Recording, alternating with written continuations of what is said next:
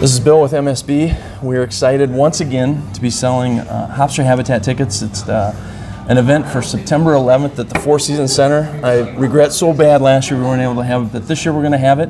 We're going to be there, moving our beer as well. But starting right now, we have these tickets available VIP tickets and general admission tickets. Super excited to be a part of this. We hope to see you there. We hope you'll enjoy our beers and everybody else's. So take care.